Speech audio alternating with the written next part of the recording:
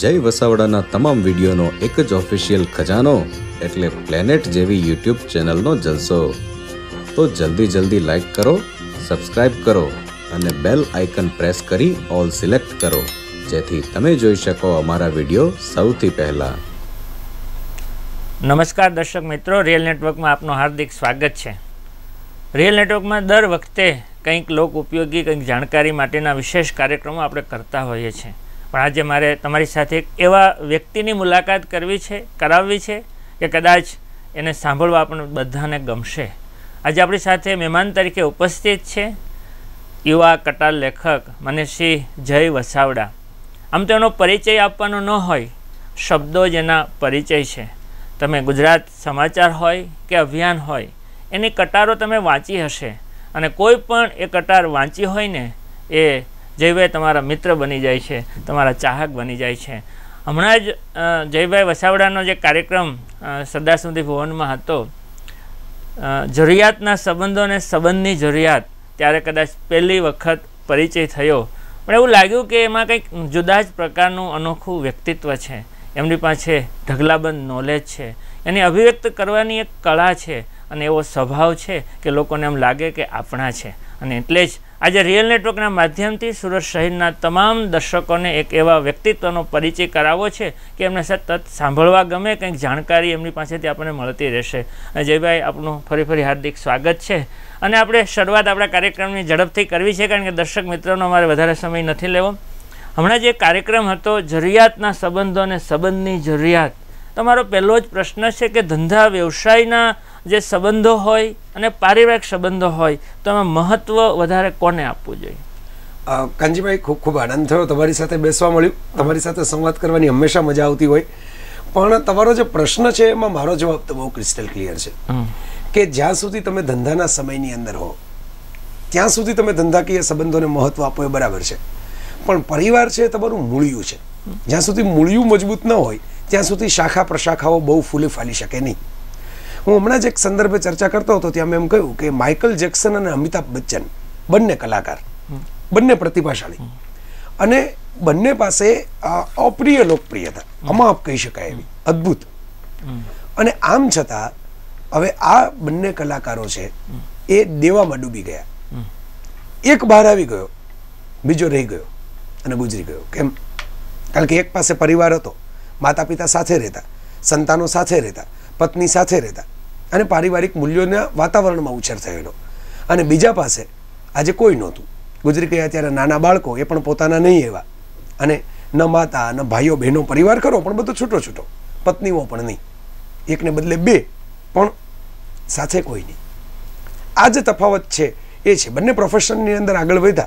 પણ એક ટકી રહ્યો અને બીજો અસ્ત થઈ ગયો. એનું કારણ પારિવારિક મૂલ્યોના મૂળિયા છે એમ હું માનું છું. ને ખૂબ સરસ વાત કરી. પરિવારનું મહત્વ કેટલું હોય કદાચ જયભાઈ બે માત્ર બે ઉદાહરણમાં તમે સમજાવી દીધું. પણ આ માઇકલ જેક્સનની વાત નીકળી છે ને હમણાં પેપરમાં એ જ ચાલે છે.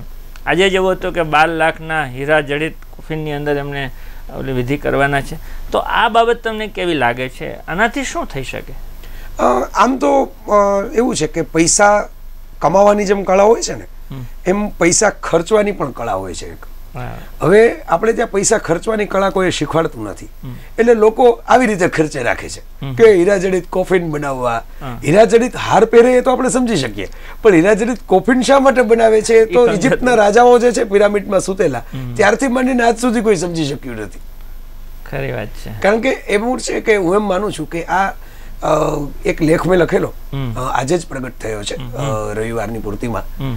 સબ ઠાઠ પડા રહે જાયેગા જબ લાત ચલેગા બંજારા વર્ષો પહેલાની પંક્તિ છે આ તો બહુ જાણીતી નજીર અકબર આબાદીની કે સબ ઠાઠ પડા રહે જાયેગા વણઝારો જ્યારે નીકળી જવાનો છે આગળ ત્યારે બધો ઠાઠ બધો. વાંઠ બધો આ જ પડ્યો રહેવાનો છે. પછી તમે બાર લાખનું કોફિન બનાવો કે બાર કરોડનું કોફિન બનાવો એની અંદર સૂતેલો જે માણસ છે જેનું મૂલ્ય અમૂલ્ય છે એ તો જતો રહ્યો છે. એટલે એને હવે તમે જે કરો તે કોઈ ફેર પડતો નથી એવું અંગત રીતે હું માનું છું. આવી જ વાત નીકળી છે તો હમણાં જ દક્ષિણ ભારતમાં પેલા મંદિરે બેતાલીસ કરોડનો મુગટ માતાજીને ચડાવે છે. તો એનાથી શું ફરક પડે? હું એમ માનું છું કે એનાથી કદાચ મંદિરના સંચાલકોને ફરક પડતો હશે માતાજીને કે કોઈ પણ જે ઈશ્વર છે મંદિરમાં બેઠેલા એમને કોઈ ફરક પડતો એવું મને વ્યક્તિગત લાગતું નથી. કારણ કે આ બધાનો સંદેશ દરેક ધર્મોમાં સરવાળે તો એ જ છે કે આ બધા મોહમાંથી ત્યાગ કરી અને ધીરે ધીરે તમારે જાતનું ઉર્ધ્વીકરણ કરવાનું છે. ત્યાગ કંચનનો કરવાનો છે એવું નથી, એ તો બહુ એની સ્થૂળ વ્યાખ્યા હતી. ત્યાગ મોહનો એટલે આસક્તિનો કરવાનો છે, એવું શીખ્યો છું. બહુ સરસ વાત કરી. દર્શક મિત્રો, આ થોડી વાત થઈ, તમને પરિચય થયો જ હશે એની વાતનો, એની અભિવ્યક્તિનો. અને હવે મારે તમને એમનો પરિચય આપવો છે કે જય વસાવડા, એટલે સૌરાષ્ટ્રના ગોંડલના પરિવારમાંથી આવે છે. પોતે અભ્યાસ જે કર્યો છે, એની મારે નાનકડી વાત કરવી છે. આમ તો સુરતમાં બધાને ખ્યાલ આવતો ગયો છે. એ જય વસાવડા, એટલે મારી બાજુમાં બેઠેલું આ વ્યક્તિત્વ પ્રાથમિક શિક્ષણ એણે શાળામાં નથી લીધું. નાગર પરિવારમાંથી એ વસાવડા સાહેબ આવે છે.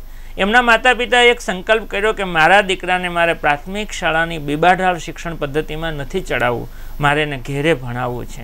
અને સાત ધોરણ સુધીનો અભ્યાસ ઘેરે કર્યા પછી એ આગળ માધ્યમિક અને ઉચ્ચતર માધ્યમિક અને કોલેજ સુધી કોમર્સમાં એક ગ્રેજ્યુએશન કરે છે. એમબીએ જેવી ડિગ્રી પ્રાપ્ત કરે છે. કોલેજમાં લેક્ચરર તરીકે કામ કર્યું છે. ઇન્ચાર્જ પ્રિન્સિપાલ તરીકે કામ કર્યું છે. પણ એની સાથે વધારે જેણે કામ કર્યું છે સતત વાંચન, અભ્યાસ. એ પછી ફિલ્મી ટીવી જોવા હોય કાર્યક્રમો ફિલ્મો જોવા હોય તો એ પણ એણે ખૂબ જોઈ છે. એને કોઈ વિષય બાકી નથી. તમારા મનમાં એવો વિષય આવે પ્રશ્ન આવે કે જય વસાવડા ગુજરાત સમાચારની જે કોલમ, રવિવારે જે કોલમ પ્રગટ થાય છે તે સ્પેક્ટ્રોમ મીટર એ આવે છે. તો શ્રદ્ધલની જે અનાવૃત કોલમ છે કે તો ઘણા બધા લોકોને પ્રિય છે. અભિયાન આપણે જે વાંચીએ છીએ એની જે રંગત સંગત, એના બે પેજ હોય, મને એવું લાગે કે આપણે સવારે ઉઠીને ચા પીધી હોય ને, એટલે આપણે ફ્રેશ થઈએ. આવા તાજા તારો વિચારો આપણને આપે છે. આવું વ્યક્તિત્વ ઘડાયું કેમ? આટલી બધી તૈયારી એમણે આ પાંત્રીસ વર્ષની ઉંમરે આટલું બધું કેમ પ્રાપ્ત કર્યું હશે? તમને નવાઈ લાગશે કે એક પણ વિષય એવો નથી કે જ્યાં જય વસાવડાની કલમ ન ચાલી હોય. એક પણ વિષય એવો નથી કે એના વિશે એણે વક્તવ્ય ન આપ્યા હોય. એણે ટીવી શોમાં પણ ઘણા બધા ટોક શો કર્યા છે. પણ લખન, લેખન ક્ષેત્રે કદાચ ગુજરાતનું એવું નામ બહાર આવવાનું છે. કદાચ એનો કોઈ જોટો ન જડે. એવી એક આપણને આશા, એક આશાસ્પદ કટાર લેખક છે. કેટલો પરિચય આપી શકાય? કોઈ પણ વિષય હોય. થોડા દિવસ પહેલાં જોઈએ તો ભોજન સામગ્રી ખાવા વિશેનો તમારો લેખ હતો. તો બીજા રવિવારે ફિલ્મ કલાકારોનો હતો, આ સિરિયલોનો હતો. કેટલા બધા વિષયોમાં લખી શકાય છે એ દર્શક મિત્રો, આપણે એની કટાર ઉપરથી જોઈ શકીએ છીએ. તો વસાવડા સાહેબ, તમે આટલું બધું પ્રાપ્ત કર્યું કઈ રીતે? પાંત્રીસ વર્ષની ઉંમરમાં પચીસ વર્ષ તો ભણવામાં જાય. માત્ર દસ વર્ષ તમારી પાસે મળ્યા. એમાં એટલી બધી એ કૌશલ્ય કઈ રીતે પ્રાપ્ત થયું એ મારે જાણવું છે. આ બહુ સરસ સવાલ પૂછ્યો કાનજીભાઈ. મુદ્દો તો એ છે કે તમે જે વાત કરી ને કે જે પચીસ વર્ષ તો ભણવામાં જાય. એમાં લોકો ગોખણપટ્ટીમાં જે પચીસ વર્ષ કાઢી નાખે છે ભણતા નથી. બહુ બહુ સરસ આ સૌથી મોટો મુદ્દો છે આમાં. પછીના દસ વર્ષ તો બરાબર છે કે આપણી પાસે થોડો સમય પણ હોય થોડું ઉપાર્જન પણ હોય ધીરે ધીરે રિસોર્સિસ વધે. કમાણી વધે એમ તમે વધારે સારા પુસ્તકો લઈ શકો વધારે સારી ફિલ્મો જોઈ શકો. પણ પાયાના જે વર્ષો છે એ આપણે ત્યાં ભણવામાં જતા જ નથી. રટવામાં જાય છે. એકની એક વાતોનું પુનરાવર્તન લોકો કરે છે. પોતાને ગમતું હોય એનો અભ્યાસ કરવાને બદલે બીજાએ જે માથે થોપી દીધું છે અને સમાજે જે એક રેસ બનાવી દીધી છે કે જેમાં હું ઘણીવાર રમૂજમાં એમ કહેતો હું છું કે રેસમાં ઘોડાઓ દોડતા હોય. એમાં ઘોડાઓને શું મળતું હોય? ઘોડાઓને તો ઘાસ જ મળવાનું છે. એના ઉપર દાવ લગાડનારાઓને કદાચ પૈસા મળતા હશે. એમ આપણે ત્યાં સમાજે શિક્ષણ પદ્ધતિએ ઇવન મા બાપ અને શિક્ષકો બધા જ દાવ લગાડનારાઓ છે. અને પેલા ઘોડાઓ દોડી જ જાય છે અને ઘાસ ખાતા ખાતા એને બીજું કંઈ મળવાનું નથી. ખરી વાત છે. હવે એ પરિસ્થિતિમાંથી આપે જે વાત કરી કે થોડી બીબાઢાળથી મુક્ત અનકન્વેન્શનલ કહેવાય. એવી રીતે મને ભણવા મળ્યું એની સાથે કેટલીક પદ્ધતિઓ મળી. કેટલીક શીખતા શીખવવાની વાત મારા માતા પિતા એમ કહેતા. કે બીજું કશું જ કરવાનું નથી. બાળકને તમારે શીખતા શીખવવાનું છે. અને રાઈટ અને રોંગ સાચું અને ખરાબ એની પસંદગીની નિર્ણય શક્તિ આપવાની છે. આ બે બાબત આપી દો એટલે બાકીનું બધું તો આપોઆપ થઈ રહેશે. હવે એ વખતે જે બનેલું એમાં શું બનેલું? રોજનું એક પુસ્તક ત્યારે ઘરમાં આવતું. ત્યારે બીજા કોઈ માધ્યમો હતા નહીં. ઇન્ટરનેટ નહીં સીડી નહીં કશું જ નહીં. પણ રોજનું એક પુસ્તક. એટલે બહારથી એમ કે કદાચ પુસ્તકો ન મળવાના હોય તો મારા પિતાશ્રી એવું કરતા કે ચાર પાંચ પુસ્તકો લઈને સુંતાડીને રાખી દે. પણ રોજ મને એક પુસ્તક આપવાનું એટલે આપવાનું આ નિયમ. શું વાત છે? અને એને કારણે લાઇબ્રેરીની પણ ટેવ પડી. મધ્યમ વર્ગનું કુટુંબ એટલે આટલું તો પોસાય નહીં પુસ્તકો ત્યારે પણ એ પ્રમાણમાં મોંઘા હતા. આજે પણ પુસ્તકો મોંઘા છે. મોંઘા છે. તો એ વખતે મારા માતુશ્રી એવી પ્રતિજ્ઞા લીધી કે હું આજીવન સોનું નહીં પહેરું. સોનું નહીં પહેર્યું એટલે નાકની વાળી પણ નહીં. હું હજી પહેરું છું. મીટી કા તે મને શોખ છે તો. પણ એમ કે એમણે તો એ વખતે એમ કે સોનું નહીં પહેર્યું શું કામ? તો કે કોઈ પણ સ્ત્રીના વાર્ષિક જે ખર્ચ હોય છે ઘરેણાનો અને સાડી સેલા અને સોનાના જરી ભરતનો એ એમ કે હું પુસ્તકોમાં નાખી દઈશ જઈને. એટલે બજેટ ત્યાંથી આવ્યું. ઓહો. અને એને કારણે જે ફાઉન્ડેશન થયું પુસ્તકો વાંચવાથી એક તો ઇમેજિનેશન ખીલે. કલ્પના શક્તિ ખીલે. કારણ કે તમારે શબ્દોના આધારે મનમાં વિચારોને ઘડવા ઘડવા પડે. આ પહેલું તો રેડીમેડ મીડિયમ છે. બાકીના જે મીડિયમ છે. પણ બીજું સાથે એ પણ હતું કે માત્ર પુસ્તક વાંચવા અથવા તો ચોક્કસ વિચારધારાના પુસ્તક વાંચવા અને બાકીને વિચારધારાના ન વાંચવા એવું કશું નહીં. એટલે મને મુક્તિ પણ મળી. કે જે ગમે તે વાંચવું. એટલે જુલેવરની વિજ્ઞાન કથાઓ પણ વાંચવાની અને ઝવેરચંદ મેઘાણીની વાર્તાઓ પણ વાંચવાની. આ બંને જે અંતિમો દેખાય છે ને મારા લેખોમાં કે મેઘાણીથી માઇકલ જેક્સન કેમ પહોંચી જવાય? એનું કારણ આ છે કે મેં જ્યારે અભ્યાસ શરૂ કર્યો ત્યારે કોઈ બંધન વિના કોઈ વિચારધારાના ચોકઠા વિના કર્યો છે. અને પછી ધીરે ધીરે માધ્યમો ફરતા ગયા તો પણ મને બેરોકટોક કે ઓકે સિનેમા છે એ પુસ્તકનું જે કચકડે નોંધાયેલું સ્વરૂપ છે. કારણ કે એ પણ વાર્તા કહે છે આ પણ વાર્તા કરે, છે. બરાબર? એવી જ રીતે ઇન્ટરનેટ છે તો એ પણ એક બુક છે. ખાલી એ બાઇન્ડેડ નથી એટલું તમે વેબસાઇટ વાંચતા હો તો એમાં પણ ટેક્સ્ટ છે. એટલે આમને આમ માધ્યમોનો સંગત વધતી ગઈ. અને પછી જે તમને રંગત લાગે છે એમાં આવતી ગઈ. સંગત ને રંગત તો ખૂબ સરસ છે. મારે જે મેં પૂછ્યું છે કે પહેલો લેખ પહેલી કટાર લખવા માટે તમને ક્યારે નિમંત્રણ મળ્યું? કોણે આપ્યું તમે કેવો પ્રયાસ કરેલો? આ બહુ સરસ વાત છે એટલા માટે કે આમ જુઓ તો મેં એના માટે પ્રયાસ કરેલો નથી. કુદરતી રીતે આપણે ત્યાં એક કવિ છે રાજેન્દ્ર શુક્લ બહુ મજાના ગુજરાતી ભાષાના. એવું કહે છે કે આ તો બધું થાય છે. કોઈ કશું કરતું નથી. અંતે સમજાય છે આ બધું તો થાય છે. એટલે હું ઘણી વખત એમ જોતો હું છું કે ક્યારેક છે ને કોઈક નકશો બનેલો હોય છે. આપણે માત્ર યંત્રવત એની ઉપર ચાલતા જઈએ આપણને એમ લાગતું હોય કે પેલું હું કરું હું કરું એ જજ્ઞાનતા શકટનો ભાર જેમ શ્વાન તાણે એવું નરસિંહ મહેતા લખી ગયા હતા. આ એવું જ છે. એવું નથી કે સજ્જતા ન હોવી જોઈએ. હું એમ માનું છું કે દરેક વ્યક્તિમાં સજ્જતા હોવી જોઈએ. પણ સજ્જતાની સાથે જ્યારે તમને એમ થઈ જાય કે આ મારે બનવું હતું ને બની ગયું એમ થતું નથી હોતું. તમે કામ કરતા રહો ત્યારે આપોઆપ કામની કદર થતી જાય અને તમે કશીક મંજિલે પહોંચી જાઓ. તમને ખબર પણ ન હોય. તમે કામ કરતા જાઓ. લોકો ગાંધીજી કામ કરતા ગયા. લોકોએ બાપુ મહાત્મા અને રાષ્ટ્રપિતા બનાવ્યા છે. ગાંધીજીએ કહ્યું નથી કે મને હોદ્દો આપો કે મને બનાવો. આ જ વાત આમાં પણ લાગુ પડી છે મને.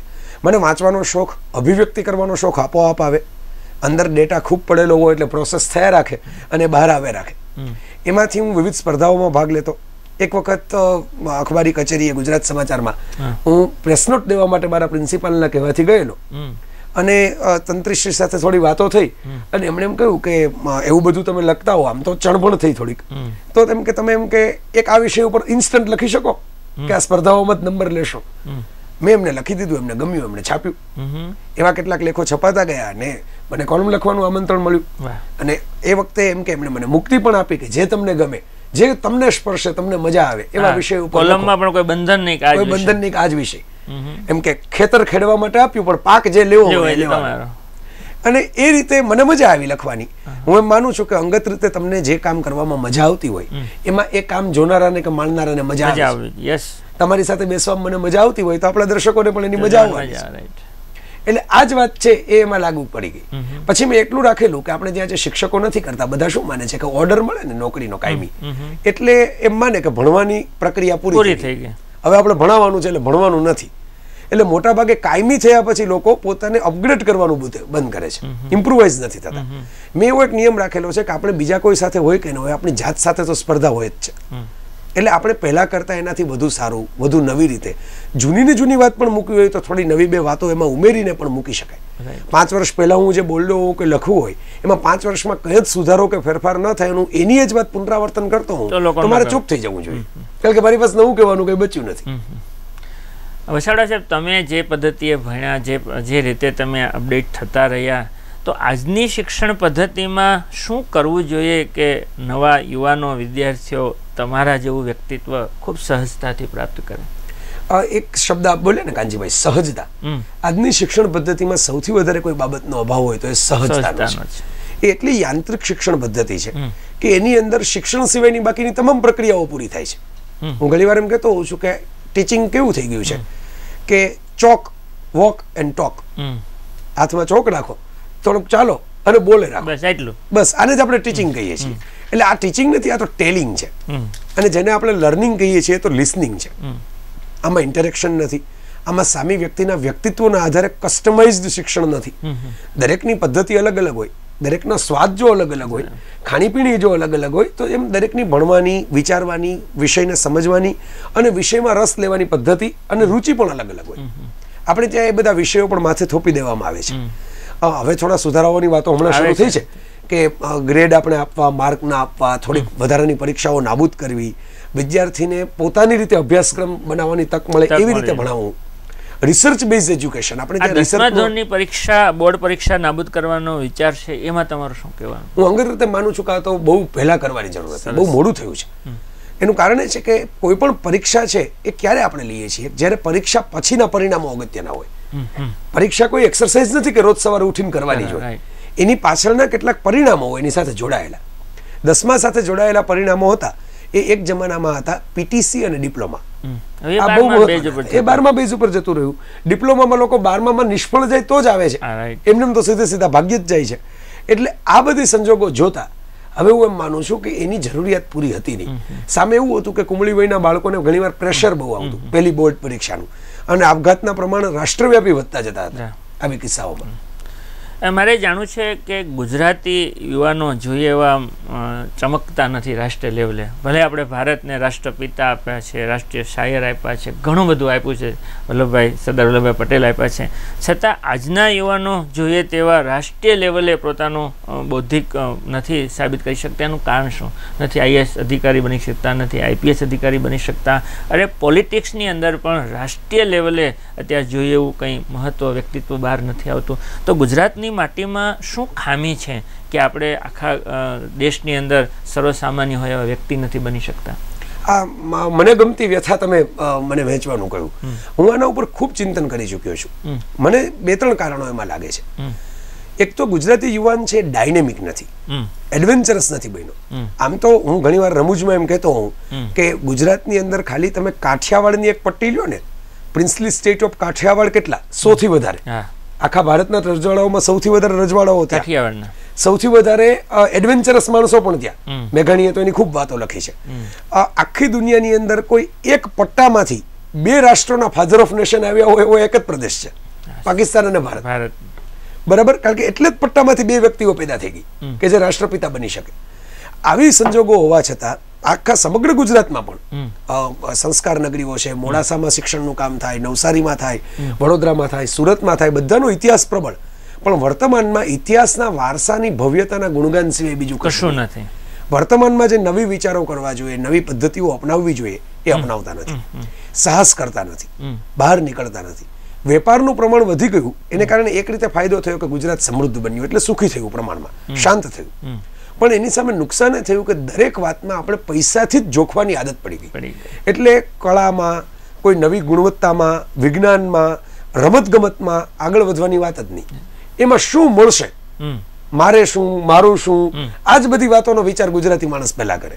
એટલે એક પરિબળ તો આ છે. આર્થિક પરિબળ ગુજરાતીઓના મગજમાં એટલું બધું વ્યાપ્ત થઈ ગયું છે કે બીજી બાબતોનું ચોખ્ઠું એને બહાર વિચારી શકતા નથી. આપણે વાત કરી સિવિલ સર્વિસમાં ગુજરાતીઓ નથી આવતા. એક કારણ તો એ કે ગુજરાતીઓનું અંગ્રેજી બહુ નબળું છે.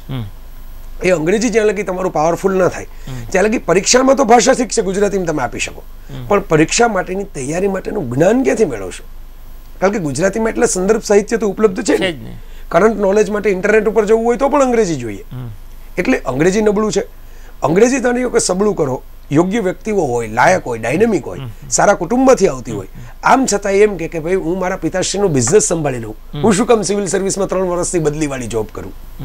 એટલે એક કારણ આર્થિક પરિબળનું પણ લાગુ પડે અંગ્રેજીની સાથે. એ સિવાય ગુજરાતની અંદર એક અતિ ધાર્મિકતા. એને કારણે એક નિષ્ક્રિયતા આવી ગઈ છે સમગ્ર ગુજરાતમાં. હું જોઉં છું કે આખા ભારતમાંથી વિવિધ પ્રકારના સંતો મહંતો સંપ્રદાયો બધા જ. ગુજરાતની અંદર પોતાની બ્રાન્ચ ઓફિસ બ્રાન્ચ ઓફિસમાંથી હેડ ઓફિસ થઈ જાય એવી બ્રાન્ચ ઓફિસ ખોલીને બેસી જાય છે. અહીં અનેક એવા પંથો છે જૂના અને જાણીતા કે જે મૂળ એના સ્થાપકો ગુજરાતી નથી. પણ ગુજરાતે એને બહુ ફૂલે વધાવીને લઈ લીધા છે. અને હજી પણ હું જોતો રહું છું કે ગામે ગામ વારંવાર કોઈ નવા વ્યક્તિ ફૂટી નીકળે છે. જીવન આમ કે આમ તો જીવન જીવવાની કળા શીખવાડવી જોઈએ. એટલે બદલે પરલોકની વાતો કરતા કરતા કે કેમ ધ્યાન કરશો ને કેમ આમ પડશો ને કેમ મોક્ષ મળશે એમ કરતા કરતા ગુજરાતમાં જ એમનો કેમ્પ બનાવીને શિબિરો કરવા પહોંચી જાય છે. અને આને કારણે ગુજરાતી પ્રજા નિષ્ક્રિય થતી જાય છે. એ વર્તમાન સાથેનું કનેક્શન તોડી અને ભવિષ્યની અંદર સીધું શિખર ચણવા જાય છે. પાયો મજબૂત થતો નથી, શિખર તો ઉપર ટકતું નથી. એ પણ મને પણ તારી માફક એવો વિચાર આવે છે કે આજનું આખા દેશની વાત કરીશ. આપણા દેશનું યુવાધન જે છે ને થોડુંક દિશાવિહીન છે. દેશમાં ઘણી બધી સમસ્યાઓ અને ઘણા બધા પ્રશ્નો છે. આપણને વિચાર આવે કે આ દેશનું શું થશે? આ યુવાનો એને બચાવશે. પણ યુવાનોને ખરી દિશા કોણ આપશે? ચાર પાંચ છે. એને પોલિટિક્સ દિશા આપશે. આપણે ખૂબ ધર્મની વાતો કરીએ છીએ, તો શું આપણા ધાર્મિક નેતાઓ એને દિશા આપશે? કોણ દિશા આપશે? આ ફિલ્મને ટીવી એમાંથી એને દિશા મળશે કે શિક્ષણમાંથી એને દિશા મળશે? આજના યુવાનોને ખરી દિશા કોણ આપશે એ મારા મનમાં પ્રશ્ન છે. ના, આ પ્રશ્ન બહુ વ્યાજબી છે.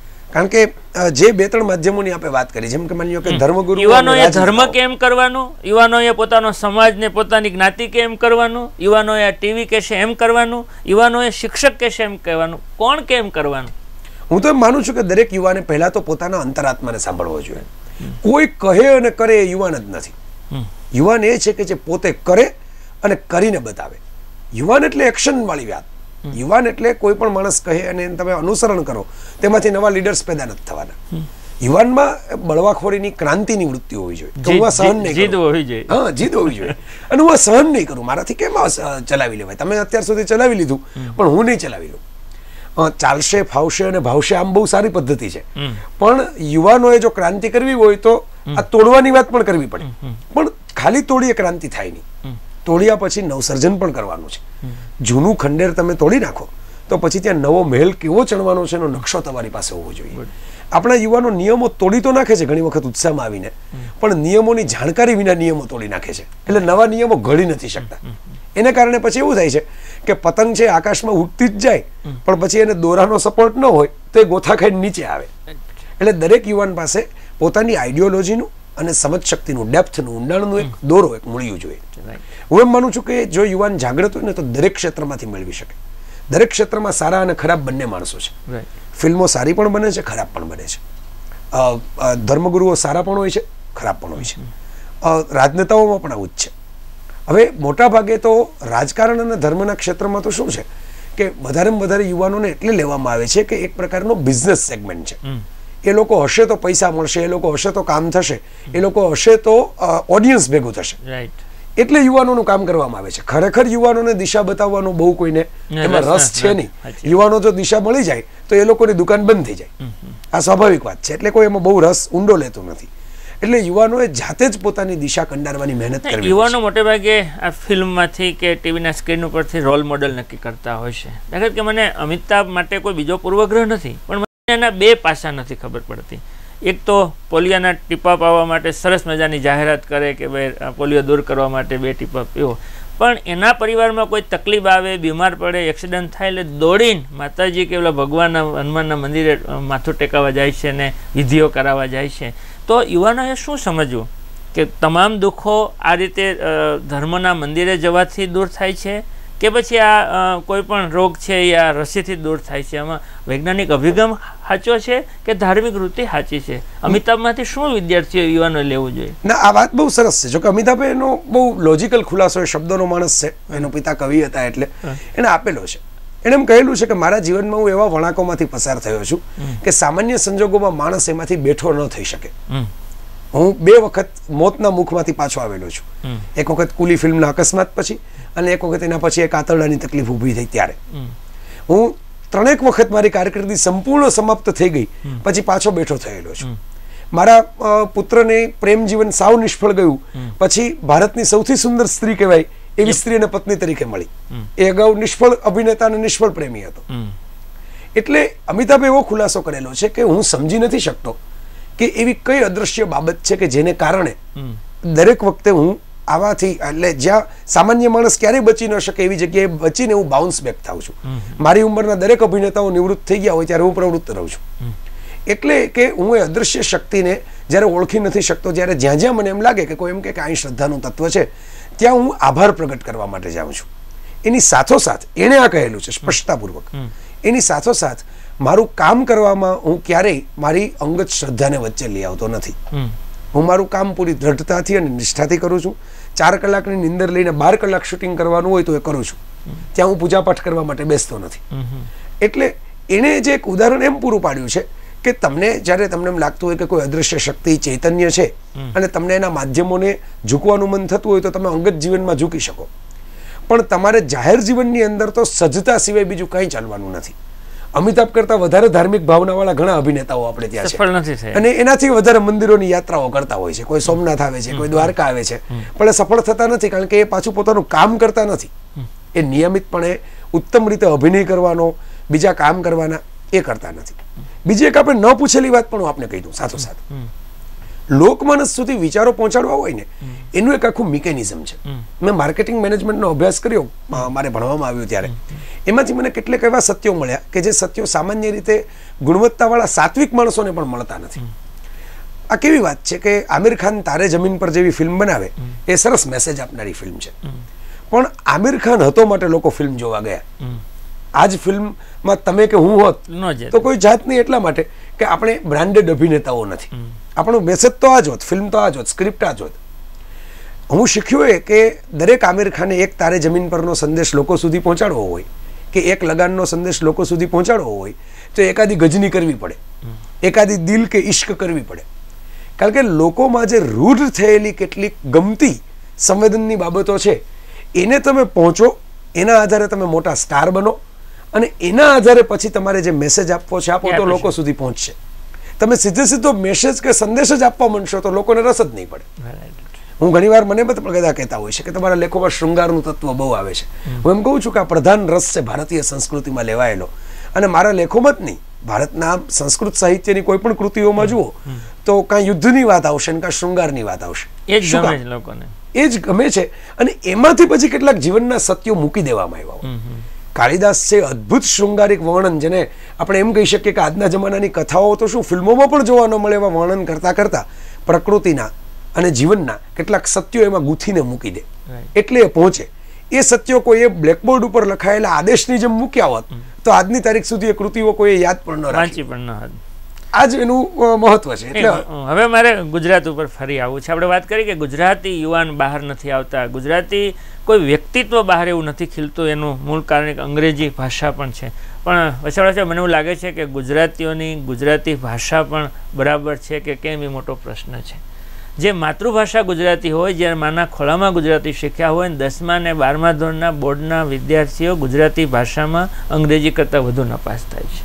આવી સ્થિતિ છે. તો આનું શું કારણ? જે વિદ્યાર્થી દસ વર્ષ સુધી ગુજરાતી ભાષા શીખ્યો હશે, પોતાનું આખી માતૃભાષા ગુજરાતી એટલે બોલતા લખતા એમાંથી શીખ્યો હશે, અને એ પરીક્ષામાં ગુજરાતી ભાષામાં નપાસ થાય તો શું કરવું? એનું શું કારણ? તમે બહુ સાચી વાત કરી. મેં એક વખત એવો લેખ પણ લખેલો અને બે ત્રણ વિદ્વાન મિત્રોને સાથે ચર્ચામાં કહેલું પણ કરું કે આપણે ત્યાં ચારો કે બહુ એવી ચર્ચા થાય છે કે અંગ્રેજી માધ્યમ. આ પ્રાણ પ્રશ્ન છે અત્યારે મોટા ભાગના મા બાપનો પણ. કે અંગ્રેજી માધ્યમ કે ગુજરાતી માધ્યમ? મેં એમ કહેલું ત્યારે કે અંગ્રેજી માધ્યમ તો ચાલો વીસેક ટકા ફેમિલીમાં છે એમ આપણે માની લઈએ બે ઘડી. એંશી ટકા વિદ્યાર્થીઓ તો હજી ગુજરાતી માધ્યમમાં જ ભણે છે. બોર્ડના ટોપર્સ પણ એમાંથી જ આવતા હોય છે. હવે તમે વિચાર કરો કે અંગ્રેજીને બેગડી ભૂલી જાઓ. ગુજરાતી માધ્યમમાં ભણનારા લોકોનું ગુજરાતી તો સારું હોવું જોઈએ ને. આટલા બધા લોકો ગુજરાતી માધ્યમમાં ભણે છે બોર્ડમાં નંબર લઈ આવે છે તો ભાષા કેમ એટલી નબળી છે કે કંકોત્રીમાં તમે જોડણીની ભૂલ કાઢી શકો? દુકાનના પાટિયા સાચી ભાષામાં લખાયેલા ન હોય. આવી બેઝિક બાબતો જે તમારે રોજેરોજના કામમાં છે એમાં પણ તમારી ભાષા ચોખ્ખી ન હોય. હવે એનું કારણ મેં બે ત્રણ જોયા છે. એક તો આપણે ગુજરાતીઓ ભાષાને પ્રેમ કરતા નથી. અંગ્રેજીને પ્રેમ નથી કરતા ગુજરાતીને પ્રેમ નથી આપણી ભાષાને નથી કરતા. એટલે અંગ્રેજીનું પણ આપણે આકર્ષણ એટલું જ છે કે અંગ્રેજીમાં પૈસા વધારે મળે. અંગ્રેજી ભાષાને આપણે પ્રેમ નથી કરતા. અંગ્રેજીનું ઉત્તમ સાહિત્ય વાંચનારા ગુજરાતીઓ બહુ ઓછા છે. ચાર્લ્સ ડિકન્સને કે શેક્સપિયરને માણનારા ગુજરાતીઓ ઓછા છે. એટલે ભાષા માત્ર ને ભાષાને આપણે એમ માનીએ છીએ કે આ તો ટાઈમ પાસ છે. શુષા પૈસા ચાર એવું દલપતરામ એકવાર લખી ગયેલા. એટલે ભાષાને ટાઈમ પાસ ગણે છે. આ એક કારણ છે. એટલે ભાષા માત્રનું એક સૌંદર્ય હોય. ગુજરાતી ભાષામાં કેટલીક વસ્તુઓ જે આપણે મૂકી શકીએ એ બીજી ભાષામાં આપણે મૂકી જ ન શકીએ. હું ઉદાહરણથી કહું. માની લો કે ગોળા ઢાંકણું. એનું મને તમે અંગ્રેજી કરી દો. આપણે અંગ્રેજીના ગમે તેવા મોટા વિદ્વાનને પૂછીએ. કે ગોળા ઢાંકણા શબ્દનું મને અંગ્રેજી આપો. અમુક શબ્દ નથી મળી શકે. શું કામ? કારણ કે સંસ્કૃતિ સાથે જોડાયેલો શબ્દ છે. જ્યાં ગોળો જ નથી ગોળા ઢાંકણું જ નથી ત્યાં એ ભાષામાં એ શબ્દ આવવાનો નથી. એવી જ રીતે આપણે જેમાં વાત કરીએ છીએ ચેનલ રિયલ ચેનલ. તો ચેનલનું ગુજરાતી નથી મળવાનું. કારણ કે ચેનલ શબ્દ છે એ આપણી ભાષાનો આપણી સંસ્કૃતિમાં નહોતી નથી. ટીવી બહારથી આવેલું છે. એટલે ચેનલ શબ્દ બહારથી આવ્યો છે. એટલે એનું પછી ભદ્રમ ભદ્રીય ગુજરાતી આપણે કરીએ. પણ એનું સાચું ગુજરાતી મળવાનું નથી. એટલે એક કારણ તો એ છે કે દરેક ભાષાનું એક આગવું સૌંદર્ય હોય. હવે આપણે ત્યાં શું થયું છે કે ગુજરાતી ભાષાની વાતો ખૂબ થાય છે. પણ સારો કંદોય હોય એ કંદોય મીઠાઈ કેમ બની એના પ્રવચનો કરવાને બદલે મીઠાઈના ટુકડાઓ ચખાડે. અને આપણને ગમી જાય ને તો આપણે એને સામેથી પૂછીએ કે ભાઈ આ કેમ બનાવી? આપણે ત્યાં ગુજરાતીના વિદ્વાનો ગુજરાતીના પેંડા ચખાડવાને બદલે એની ચર્ચા બહુ કરે છે.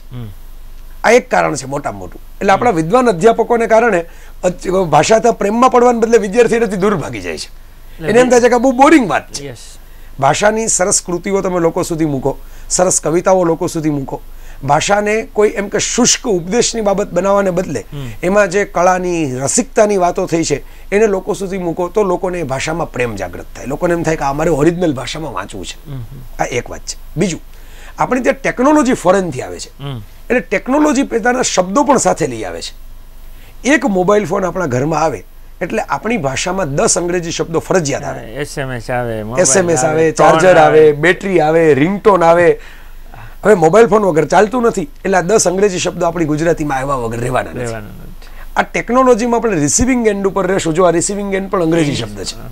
તો ત્યાં સુધી હંમેશા એવું થવાનું કે કેટલાક અંગ્રેજી શબ્દો ફરજિયાતપણે આપણી ભાષામાં આવવાના. કારણ કે આપણે ટેકનોલોજી અંગ્રેજીમાંથી શીખી એની સાથે શબ્દો આવશે. એની સાથે શબ્દો આવશે. એટલે હવે તમારે થોડોક વ્યવહારિક અભિગમ પણ રાખવો પડશે ગુજરાતી ભાષાના પ્રચાર માટે. એક પણ પ્રચાર વિના કોઈ જાહેરાત વિના અંગ્રેજી માધ્યમની શાળાઓ હાઉસફુલ થઈ જાય છે. ક્યાંય તમે એવું એક પેમ્પલેટ જોયું કે અંગ્રેજી માધ્યમમાં બાળકોને ભણાવો? કારણ એક બે ત્રણ ચાર પાંચ. નહીં. ગુજરાતીનું આપવું પડે છે. શું કામ? આપણે કચરો નાખવો જોઈએ. કચરા ટોપલીમાં એવું કહીએ છીએ. પણ કચરા ટોપલી રસ્તામાં મૂકતા નથી. કચરા ટોપલી હોય જ નહીં તો હું ક્યાં કચરો નાખું? જ્યાં મને રસ્તામાં ખૂણો દેખાય ત્યાં. આના કરતાં ઉલટી ક્રિયા છે આમાં. ગુજરાતી માધ્યમમાં બાળકોને ભણાવવા માટે મા બાપ કન્વિન્સ થઈ જાય. પણ એના પછી સારી ગુજરાતી માધ્યમની એવી શાળા કે જે ગ્લેમરસ હોય સરસ ગુજરાતી માધ્યમ એમાં ભણાવવામાં આવતું હોય દરેક વિષયોના પ્રબુદ્ધ શિક્ષકો હોય તમામ પ્રકારના રિસોર્સ મટીરિયલ હોય કોમ્પ્યુટરાઇઝ હોય અને સાથે ઉત્તમ અંગ્રેજી તૈયાર કરવામાં આવતું હોય. એક વિષય તરીકે. એવી ગુજરાતી શાળાઓ આપણે કેટલી ઊભી કરી? આ પાયાનો સવાલ છે. એટલે કંટાળીને સારું અંગ્રેજી મેળવવાના મોહમાં મા બાપ અંગ્રેજી માધ્યમના પ્રેમમાં પડી જાય છે. સારું અંગ્રેજી ડેવલપ કરતી સારું અંગ્રેજી વિકસાવતી ગુજરાતી માધ્યમની શાળાઓ જો આપણે ઊભી કરશું જે ગ્લેમરસ હોય શુષ્ક ન હોય. ગુજરાતી માધ્યમની શાળા એટલે ગરીબડી બિચારી શાળા એવું ન હોય. આશ્રમ શાળા હોય ને એવું ન એવું લાગે ગુજરાતી શાળાઓ રાઈટ એટલે સરસ ઉત્તમ ગુજરાતી શાળાઓ ઊભી કરીએ એમાં શ્રેષ્ઠ અંગ્રેજીના શિક્ષકો આવીએ અને આપણે ત્યાં એક બહુ મોટી ગડબડે છે કે વિદ્યાર્થીઓની ટ્રેનિંગમાં આપણે જેટલું ધ્યાન આપીએ છીએ ને એટલું સારા શિક્ષકો ડેવલપ કરવામાં નથી આવતું. ના ગુજરાતમાં બે પાંચ વર્ષથી પેલું કર્મયોગી તાલીમ શિબિરો થઈ એમાં મને એવું લાગે છે કે શિક્ષકને આમ સજા કરતા હોય ને એમ શિક્ષકો જાય છે કે આ તાલીમમાં વેકેશન વેકેશન અમારું બગડે છે. પણ મને એવું લાગે છે કે આ કર્મયોગી તાલીમ શિબિરમાં વિદ્યાર્થીને શિક્ષક ગુજરાતી ભાષા ખૂબ શુદ્ધ ઉચ્ચાર સાથે શીખવાડે એવી તાલીમ આપવી જોઈએ નથી લાગતું? અત્યારે મા બાપ શુદ્ધ ગુજરાતી બોલતા નથી. એનું વાતાવરણ શેરી મોહલ્લાનું હોય ત્યાં બરાબર શબ્દો બરાબર બોલાતા નથી. સ્કૂલમાં શિક્ષક પણ એક વિષયને ન્યાય આપવો જોઈએ કવિતા પાઠ શીખવાડે છે. પણ ગુજરાતી ભાષા વિદ્યાર્થીને બોલતા નથી શીખવાડતા. એને કારણે તમે જોયું હશે કે ઊભા થઈને કોઈને પ્રશ્ન પૂછવો હોય ને તો યોગ્ય ભાષામાં પોતાનો વિચાર વ્યક્ત કરી શકે એટલા શબ્દો એની પાસે નથી. વિદ્યાર્થી પાસે નથી. શુદ્ધ ભાષા પણ નથી યોગ્ય શબ્દો પણ નથી. એને કારણે એની અભિવ્યક્તિ તમારા જેવા વિચારો મનમાં કદાચ કોઈ વિદ્યાર્થીને આવતા હોય તો વ્યક્ત કરવા માટેનો પ્રોપર શબ્દો નથી. આવી સ્થિતિ ગુજરાતના વિદ્યાર્થીઓની છે. તો એમાં શું શાળાઓએ રોલ ભજવવો જોઈએ કે જેથી કરીને વિદ્યાર્થીઓ એની ભાષામાં કમાન્ડ બરાબર હોય? એક તો હું માનું છું કે દરેક શાળાએ ત્રણ ભાષા રાષ્ટ્રભાષા માતૃભાષા અને વિશ્વભાષા. એટલે જ્ઞાન ભાષા હું એને કહું છું. અંગ્રેજીને જ્ઞાન ભાષા કહું છું. વિશ્વ ભાષા ઓછી. વિશ્વમાં તો બીજી ઘણી ભાષાઓ છે. પણ જ્ઞાન ભાષા જેમાં સૌથી વધારે જ્ઞાન તમને મળી શકે એવી ભાષા. આ ત્રણ ભાષાઓનો હું માનું છું કે પેરેલલ કોર્સ વધારાના સમયમાં ચલાવવા જોઈએ. રાઈટ આ દરેક શાળાની એક નૈતિક જવાબદારી બને.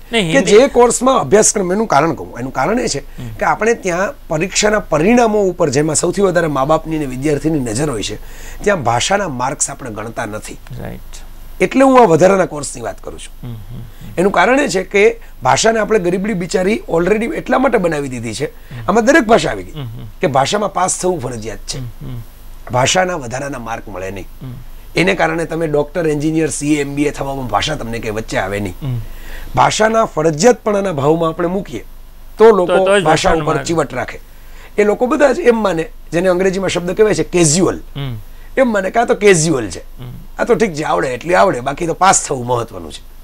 એટલે એક કામ તો એ કરવાનું છે કે સિસ્ટમેટિક લેવલે ઉપરથી જ્યાં સુધી ભાષાના માર્ક્સ છે એને ફરજિયાત ન કરવામાં આવે. પેપર માળખું મેં છેવડા સાહેબ જોયું છે કે આપણે ભણતા હું ભણતો અમારા કરતાં પંદર વર્ષ મોટો એટલે હું ભણતો ત્યારે એક નિબંધ લખવાનો હોય ને તો દસથી પંદર માર્ક્સ એક નિબંધના આપતા. ખરી વાત અને પંદર માર્ક્સનો નિબંધ હોય એટલે ચાર પાંચ પેજ આપણે લખવા પડે અને સારો નિબંધ આપણે લખતા.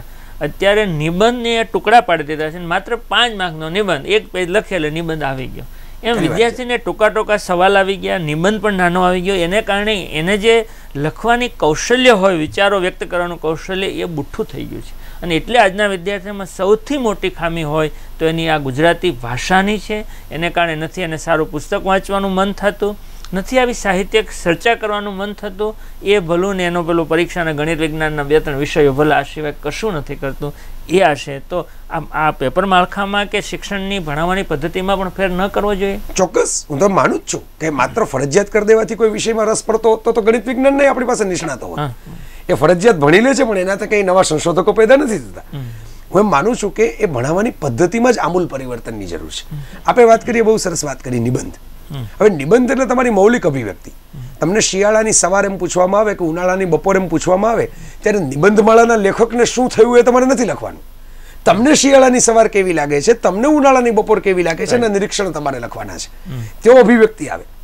હવે આવી વાતો તો આપણે ત્યાં અર્થ વિસ્તાર છે નિબંધ છે એ બધી ધીરે ધીરે નીકળતી જાય છે. છે. બીજું કોઈ પણ ભાષામાં સૌથી મોટી જે જાન આવે જેને પ્રાણ તત્વ કહેવાય ભાષાનું ક્યાંથી આવે? સાહિત્યમાંથી આવે. વ્યાકરણથી ભાષા ન શીખાય. સાહિત્યમાં તમને રસ પડે ને તમે વ્યાકરણ શીખો. હવે આપણા ગુજરાતી સાહિત્યકારો જીવાતા જીવનથી દિવસે દિવસે વિમુખ થતા જાય છે. એ એક જ બીબાઢાળ પ્રકારનું સાહિત્ય લખે છે અને પચાસ વર્ષ પહેલાના યુગમાં ફિક્સ થઈ ગયા છે. એ ઉપદેશ આપવા સિવાય બીજી કોઈ પ્રવૃત્તિ ભાગ્ય જ કરે છે. નવા લોકોને નવી ભાષામાં નવું રંજન મળે એવું સાહિત્ય સરતતા નથી. ગુજરાતી યુવાન છે એ ગાંધીજી વિશે લગેરેવો મુન્નાભાઈ ફિલ્મમાંથી માહિતી મેળવે છે. પણ ગાંધીજી ગુજરાતના હોવા છતાં નવજીવન પ્રકાશન ગુજરાતમાં હોવા છતાં એટલું સાહિત્ય આટલું સાહિત્ય હોવા છતાં એના સુધી પહોંચતું એટલા માટે નથી કે એને રસપ્રદ રીતે પહોંચાડવામાં આવતું નથી. હું એમ માનું છું કે દરેક કાળ પાસે પોતાના નવા નવા માધ્યમો હોય છે. દરેક કાળ પાસે નવા નવા રેફરન્સ પોઈન્ટ એટલે સંદર્ભના મુદ્દાઓ હોય છે. તમારે એને રીઇન્ટરપ્રિટ નવી રીતે વાતો મૂકવી પડે. રાઈટ એ નવી રીતે મુકાતું નથી. મને ઘણા લોકો એમ કહે છે કે ગુજરાતી યુવાનો વાંચતા નથી. હું કહું છું કે આ વાત ખોટી છે. ભારતના યુવાનો અને ગુજરાતી યુવાનો વાંચતા નથી એવું નથી. એમને રસ પડે એવું સાહિત્ય ઓછું સર્જાય છે. એટલે વંચાતું એટલે વંચાતું નથી. ચેતન ભગત ફાઈવ પોઈન્ટ સંબંધ જેવું પુસ્તક લખે. એની ચાર વર્ષમાં એકસો ને એકત્રીસ આવૃત્તિ થાય. એના ઉપરથી ફિલ્મ પણ બની જાય. આ દેશનો યુવાન વાંચતો નથી આટલું બધું પુસ્તક વેચાણું કેવી રીતે? વડીલો તો વાંચ્યું જ નથી આ પુસ્તક. શ્રેષ્ઠ ઉદાહરણ તમારે જોવું હોય તો પરફોર્મન્સની રીતે પર્સનની રીતે નહીં. તમારી સામે બેઠેલું છે. રાઈટ જો કોઈ વાંચતું જ ન હોત તો હું તો યુવાનોને ગમતા નવા વિષયો ઉપર ખૂબ લખું છું કારણ કે મને ગમતા વિષયો પણ છે. તો હું નોકરી કર્યા વિના માત્ર લેખન અને પ્રવચન ઉપર જીવિત ન શકતો હોત. ખૂબ યુવાનો વાંચે છે. મને કાલે એક થોડોક આંચકો લાગેલો ઘણા બધા વિદ્યાર્થીને મેં પૂછ્યું કે ભાઈ જય વસાવડા જેવું લેખક કોને બનવું છે? તો એક પણ વિદ્યાર્થી માનસિક રીતે તૈયાર ન થયો દસમા ને બારમાના વિદ્યાર્થી કે જે કારકિર્દી ઘડવા માટેના ઉંમરે ઉભેલા છે. દરવાજાની બહાર નીકળે એટલે એની કારકિર્દી મળવાની છે. તો એમાંથી એક પણ વિદ્યાર્થીને આવો વિચાર કેમ નથી આવતો? મારે કવિ બનવું છે મારે લેખક નથી બનવું છે. આવો વિચાર નહીં આવવાનું કારણ તમને શું લાગે? વાતાવરણ. બહુ સિમ્પલ વાતાવરણ. લેખકો જ્યારે જ્યારે જે તે સંસ્કૃતિમાં પેદા થયા, એ બે રીતે પેદા થયા. કાં ઘરનું વાતાવરણ એવું હોય કે જેમાંથી એણે જાતે જ સંઘર્ષ કરીને પેલું ભીતરે ફાડીને પીપળોડે ઉગ્યો, એની જેમ બહાર આવવું પડે ને એમાંથી એને પોતાને લેખનની કે કર્તૃત્વની દિશા મળી હોય. અને કાં ઘરની અંદર વાંચનનું, લેખનનું એવું સરસ વાતાવરણ હોય કે જેમાંથી મુક્તિ હોય. આપણે ત્યાં કોઈ વિદ્યાર્થીને લેખક એટલે નથી બનવું સર્જક એટલે નથી બનવું કે ઘરમાંથી પહેલેથી જ કારકિર્દીની એક ધારાધોરણવાળી ચોક્કસ દિશા આપી દેવામાં આવે છે. કે પૈસા કમાવા માટે તમારે આટલી આટલી જે લ્યુક્રેટિવ સરસ મજાની આકર્ષક કારકિર્દી છે એમાં તમારે જવાનું મારે થોડુંક એમાં વિશેષ વાત કરવી છે. વાતાવરણની વાત કરીને પણ એમાં લેખકોએ અને કવિઓએ પણ એવા રોલ મોડેલ બનવું જોઈએ કે વિદ્યાર્થીને પ્રેરણા મળે કે મારે આવું બનવું છે. એ તો મેં તમને પહેલા વિદ્યાર્થી આંગળી ઊંચી નથી કરી તો એમાં લેખકોએ અને કવિઓએ પણ વિચારવાનું છે કેમ આપણી દિશામાં કોઈ નથી આવતું? છે મને બહુ બેસ્ટ એક ઉદાહરણ જિંદગીભર યાદ રહેશે. એસઆર રાવ અમારા સુરતના મ્યુનિસિપલ કમિશનર હતા અને એણે એટલું બધું કામ બે ત્રણ વર્ષ કરેલું કે આખા સુરતમાં એસઆર રાવ એસઆર રાવ થતું હતું અને લોકોને એટલું બધું માન એણે મેળવેલું. અમે એક આવા જ કોઈ કાર્યક્રમમાં નાનકડા વિદ્યાર્થીને પૂછ્યું કે તારે શું બનવું છે? તો વિદ્યાર્થીએ વસાડા સાહેબ એવું કીધું કે મારે એસઆર રાવ બનવું છે. કમિશનર શું એને ખબર નહોતી. મારે એસઆર રાવ બનવું છે. તો આવા રોલ મોડલ બને એવા વ્યક્તિત્વ ગુજરાતમાં ઓછા છે તો આપણા વિદ્યાર્થીઓને મોડલ નથી મળતા. એ વાત સાચી છે. એમાં હું સંમત છું આપની સાથે.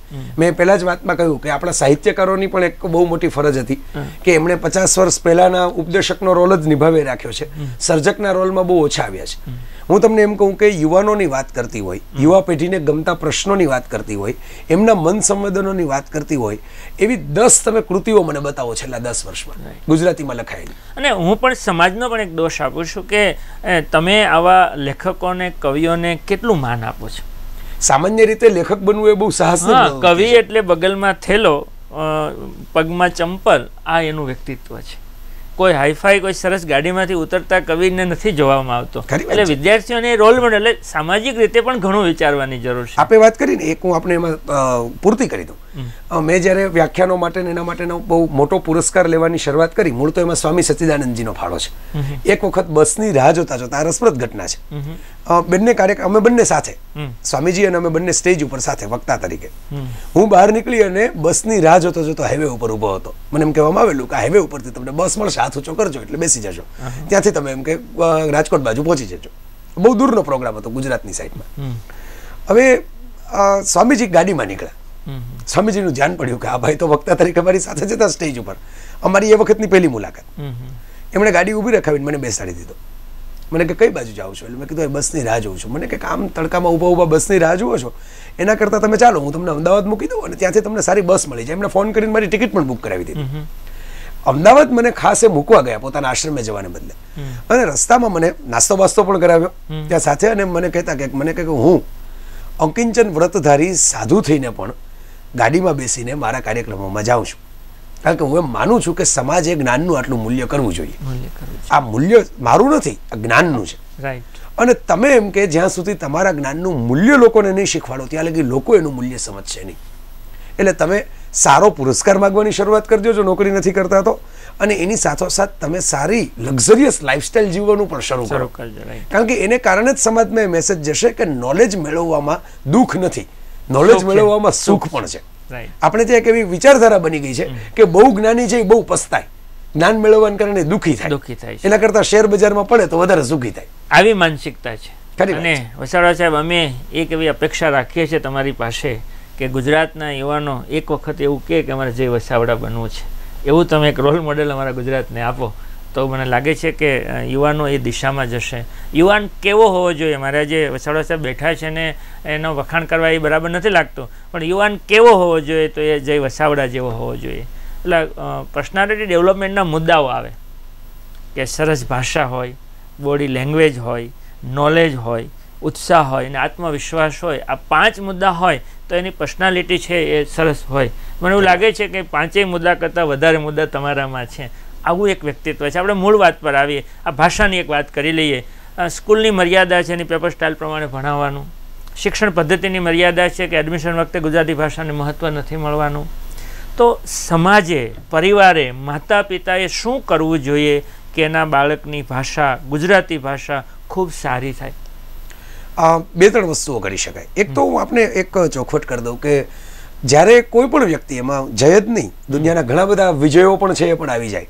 કોઈ પણ વ્યક્તિ એવું વિચારે કે મારે રોલ મોડલ બનવું છે ત્યારથી જ એના પતનની શરૂઆત થઈ એટલે રોલ મોડલ સમાજ સ્વીકારે એક વાત છે પણ વ્યક્તિગત રીતે કોઈ માણસ પોતાની જાતને રોલ મોડલ તરીકે રજૂ કરવાની શરૂઆત કરી દે. ત્યારે ત્યારથી એના વિકાસનો એ અંત છે. એટલે હું એમ માનું છું કે આપણે જે કામ કરતા હોઈએ એ આપણી મોજથી આપણને ગમે એવી રીતે સરસ કરવાનું અને આપોઆપ સરસ કામના સરસ પરિણામો મળે તો સરસ વાત છે. નહીતર આપણે ખેડૂતની જેમ દાણા નાખતા જવાના. પછી વાદળ જાળે ને મેં- વસુંધરા. મેં વસાવડા સાહેબ જોયું છે કે લેખક હોય તમારા જેવા સરસ વક્તા હોય સરસ આ સ્પીચ આપી શકતા હોય એ પોતાનો વ્યવસાય નથી કરતા એ બાય પ્રોડક્ટ તરીકે એ ડેવલપ થઈ ગયું હશે એટલે જોઈએ તેવો ન્યાય ન પણ મળી શકતો હોય. પણ તમે એને એક વ્યવસાય પોતાનો એક મુખ્ય વિષય તરીકે જે ડેવલપ કરવાનો પ્રયાસ કર્યો છે એવું મને લાગે છે કે ગુજરાતમાં હજુ સ્પેશિયલ આવું કોઈ નથી. હા અત્યારના તબક્કે આપણે એવું કહી શકીએ પણ આપણે તો બંને એવું છે કે આવા તો સો એક જણા ના થવા જોઈએ. એનું એટલે કહું છું કે મારે એક જય વસાવડાની મારી ગુજરાતી ભાષા મારા ગુજરાતના યુવાનો માટે ઘણા બધા વ્યક્તિઓ આવા જોઈએ છે કે વિદ્યાર્થીને એમ થાય કે મારે આ બનવું છે. મારે પહેલા બાપુ બનવું છે કે મારા પહેલા વ્યક્તિ જેવું બનવું છે એના કરતાં આવું બનવું છે તો એમાં જીવનમાં ઘણો ફેરફાર થશે. આપણે વાત કરતા હતા પરિવારે શું કરવું જોઈએ? ભાષા માટે નાની નાની બાળકોના મમ્મીએ શું કરવું જોઈએ? જે બાબતમાંથી હું શીખ્યો છું એ આપને કહી શકું. એ મારો વ્યક્તિગત અનુભવ છે પણ એમાંથી જ મને ભાષા પ્રત્યેનો પ્રેમ આવ્યો છે. એક તો માતા પિતાએ પોતે વાંચતા શીખવું જોઈએ. પહેલી વાત તો આ છે. વાંચો વાંચો કહેવાથી જગતમાં કોઈ વાંચતું નથી. તમે વાંચતા હોય એટલે સામા માણસને રસ પડે. હું રોજ સવારે હાથમાં કોઈ લાલ રંગનું પીણું પીતો હોઉં તો ત્રીજે દિવસે મારા ઘરનું મેમ્બર પૂછવાનું કે તમે રોજ શું પીવો છો? એ કયું શરબત છે? ગુલાબનું શરબત છે તરબૂચનું પાણી છે શું છે? બરાબર? એવી રીતે મા બાપ પોતે પહેલાં થોડું ઘણું વાંચતા થાય. પોતે પોતાના બેડરૂમમાં ટીવી ચાલુ રાખે અને વિદ્યાર્થીને એમ કે તારી પરીક્ષા આવે છે ને વાંચ. તો એ પરીક્ષાનું પણ નહીં વાંચે. સાહિત્ય વાંચવાની તો વાત દૂર છે. સાચી વાત છે. બરાબર? એટલે પહેલા તો રોલ મોડલ બનવા માટે મા બાપે સૌથી પહેલા પોતે વાંચતા કરવાની જરૂર છે. આપણે ત્યાં વચ્ચેની એક એવી પેઢી આવી ગઈ છે સિક્સટી સેવન્ટી એટીમાં કે જે લોકોએ કદાચ સંઘર્ષને કારણે કદાચ પારિવારિક મુશ્કેલીઓને કારણે જેટલું ધ્યાન પોતાની વ્યાવસાયિક સફળતામાં આપ્યું એટલું વ્યક્તિત્વના વિકાસમાં નથી આપ્યું. એટલે એ પેઢીની પછીની જે પેઢી આવી એમને જોઈ જોઈને મોટી થઈ. એટલે એમણે જોયું કે વ્યાવસાયિક સફળતા માટે કામ કરાય પણ બીજું કઈ સાહિત્યમાં સંગીતમાં જરૂર. નથી. એવું માનતી થઈ એવું માનતી થઈ ગઈ. એટલે પહેલા તો મા બાપે પોતે વાંચવું એના હાથમાં પુસ્તક હશે તો બાળકને એમ થશે કે મમ્મી એવું તો શું વાંચે છે આમાં? કલાકો સુધી. એટલે પૂછશે અને એમાંથી એનું કુતૂહલ જાગૃત થશે. કુતૂહલ વિના એમાં જ નહીં. આ એક વાત. બીજું સારા પુસ્તકો રોજના ઘરમાં વસાવવા. ઘરમાં પુસ્તકો વસાવવાનો ફાયદો મોટામાં મોટો એ છે કે એક તો એ ઇઝી એક્સેસ જેને આપણે કહેવાય કે વારંવાર તમારે વાંચવું હોય તમારી અનુકૂળતાએ વાંચવું હોય ત્યારે વાંચી શકાય. એ પુસ્તકો વસાવવાને કારણે બીજો એક ફાયદો એ પણ છે કે એનું મૂલ્ય વધે. મફતમાં મળેલું પેલું લાઇબ્રેરીમાંથી મફતના ભાવમાં આવેલું પુસ્તક ઘણી વખત હું જોઉં છું. લોકો એને પેપર વેઇટ તરીકે ઉપયોગ કરતા હોય છે. કે આ તો શું છે? આપણું ક્યાં પુસ્તક છે? તમે જ્યારે થોડાક પૈસા ખર્ચીને પણ પુસ્તક ખરીદીને રાખો તમને એમાં એમ લાગે કે મેં આમાં પૈસા ખર્ચ્યા છે આનું વળતર મારે મેળવવું છે. એક તો એ. એટલે પુસ્તકો વસાવવા. રાઈટ બીજું ઉત્તમ ભાષ- દરેક ભાષા પાસે પોતાના ઉત્તમ સાહિત્યકારો એમ ગુજરાત પાસે પણ અદ્ભુત છે. ખજાનો છે. આપણી જૂના સાહિત્યકારોની વાત કરીએ તો મુનશી છે ગુણવંતરાય આચાર્ય છે મેઘાણી છે મળિયા છે ચંદ્રકાંત બક્ષી છે ગુણવંત શાહ છે. ઢગલાબંધ. આપણે એને અત્યારે હું નામ ભૂલી જતો હોય છે એવા તો કેટલા બધા છે મોહમ્મદ માકડ છે ભૂપત વડોદરિયા છે. આપણે એનો એનો એનલેસ આમાં હું એમ કહું સો એક જેટલા નામ આપણે તૈયાર કરી શકીએ. બીજા કોઈના નહીં તો કમસે કમ જે આ લોકો જે એપ્રુવડ છે જે વધારે સમયની કસોટીમાંથી પસાર થયેલા છે. સારા કવિઓ છે આપણી પાસે. ઉમાશંકર જોશી પણ છે આપણી પાસે એમ કે સુરેશ દલાલ પણ છે. તો આ બધાના તો આ તો એમાં તો કઈ એવું નથી કે કેવું સાહિત્ય હશે એનું કંઈ બાંધી મુઠ્ઠી હોય. એટલે આવા સાહિત્યકારોના નીવડેલા સાહિત્યકારોનું સાહિત્ય વસાવવું આપણે ત્યાં લોકો પુસ્તકો વસાવે છે વાંચે છે પણ મેં જોયું છે કે એમને ગમતી એકાદી વિચારધારા પકડાઈ જાય. એ વિચારધારાની બહાર નીકળતા જ નથી. ઘણી વખત કોઈને એક સ્વામી વિવેકાનંદનું પુસ્તક ગમી જાય તો આખી જિંદગી એ જ પુસ્તક વાંચે રાખે બીજું કંઈ વાંચે જ નહીં. તો વાંચનનો પાયાનો નિયમ તો એ છે કે તમે એને વિસ્તારતા જાઓ. વિવિધતા લાવો. એમાં વિવિધતા લાવો. તમે સંસ્કૃતનું સાહિત્ય પણ વાંચો તમે છેલ્લામાં છેલ્લું છાપું પણ અખબાર પણ વાંચો. તો આ આવી રીતે એને જોડી શકીએ. એમાંથી આપોઆપ ન ગમતું નીકળી જશે અને ગમતું ટકી જશે. જશે. એટલે આ વાતાવરણ જે હું જે કહું છું ને વાતાવરણનું નિર્માણ એ આમ થવું જોઈએ. બીજું માતા પિતાએ કમસે કમ સંતાનોને કહેવું જોઈએ કે દરેક જગ્યાએ અમે તને તું કેટલા માર્ક લઈ આવે એનાથી જોખશું નહીં. આ અમારું છેલ્લું ત્રાજવું નથી. અમે આ ઉપરાંત પણ બીજા કેટલાક ત્રાજવાઓ લઈને બેસશું તને માપવાનો હશે ત્યારે. અને એ ત્રાજવું છે તારું વ્યક્તિત્વ તારા સંબંધોને તું કેવી રીતે જીવે છે એ તું કેવી રીતે આનંદ કરે છે? તારી સાચા ખોટાની વ્યાખ્યા શું છે? અને તારી પોતાની ભાષા કેવી છે? યસ તને સાહિત્ય પ્રત્યેની રુચિ કેવી છે? કળા પ્રત્યેની રુચિ કેવી છે? આપણે જેને અંગ્રેજીમાં કહીએ ટેસ્ટ કેવો છે? હવે આ માતા પિતાએ કેવું જોઈએ? કદાચ માતા મા બાપ એમ કહી શકે કે જો અમારી પાસે સમય નથી. અમે આ ન કરી શક્યા. અમે આ ન કરી શકીએ એનો અર્થ એવો નથી કે તારે ન કરવું. તું ઘણું એવું કરવાનો છો કે જે અમે નથી કરી શક્યા. તો બીજું બધું છે તું નવું નવું કરવાનો છો એની સાથે આ પણ તું કર. અમારાથી ન થયું અમારી મર્યાદા છે અમારી મહાનતા નથી. આ બાળકોની ભાષા સુધી માટે ગુજરાતી ભાષા સુધી માટે તમારા તરફથી કોઈ એવું પુસ્તક કે કોઈ એવો વિચાર કે એવો કોઈ આર્ટિકલ કે એવો ખરો? મેં લેખો તો ઘણા લખ્યા છે પુસ્તકો હવે કેટલાક આવી રહ્યા છે. અને હું એક બાબતમાં જે પેલી કંદોઈવાળી વાતમાં તો હું માનું જ છું કે કોઈ પણ વ્યક્તિને તમે ભાષા સુધારો એમ કહીને વાત કરશો તો એને ઉપદેશ લાગશે. લાગશે. પણ એને કોઈ ભાષા ગમી જશે તો આપોઆપ એમાં રસ લેતો થશે. એટલે ગમતી કરો. પહેલે ગમતી કરો. એને રસ પડે એવી વાતો. ભલે થોડીક અનકન્વેન્શનલ હોય. આપણે ત્યાં પેલી બહુ જ શુષ્ક વાતો મુકાય. એને બદલે હું ઘણીવાર એમ કહેતો મેં એક નાનકડી પુસ્તિકા કોલેજના વિદ્યાર્થીઓ માટે બહાર પાડેલી. એક છોકરો એક છોકરી. છોકરા છોકરીની પ્રેમની જ કવિતાઓની પુસ્તિકા. કારણ કે પ્રેમ છે એ યુનિવર્સલ છે. પ્રેમમાં બધાને રસ પડવાનો. અને એક નાનકડો ટૂચકો પણ કહ્યો તો આખું ઓડિયન્સ ખડખડાટ હશે. કોલેજિયન યુવક યુવતીઓ તે વાંચવાના. વાંચવાના છે. અને એ વાંચવાનો તો એમાં ઉત્તમ ગુજરાતી કવિઓની પણ કવિતા હતી. તો એની સાથે મેં શું જોયું કે લોકોને રસ કેમાં છે? તો કે પ્રેમમાં છે શૃંગારમાં છે રસિકતામાં છે. આ બાબત યુનિવર્સલ છે. આમાં દરેક માણસને રસ પડવાનો. કંઈ વાંધો નહીં આને માધ્યમ બનાવો આપણો સંદેશ આપવા માટે. રાઈટ લોકો આને વખોડે છે આને તરછોડે છે. હું એને માધ્યમ બનાવીને ચાલુ છું.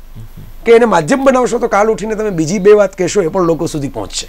અને માધ્યમ નહીં બનાવો તો તમે બસો વાત કહેશો લોકો સુધી પહોંચશે. વાંચવાનું નથી. એટલે એને પહોંચાડવા માટે મેં કેટલાક આવા આયોજનો કરેલા છે.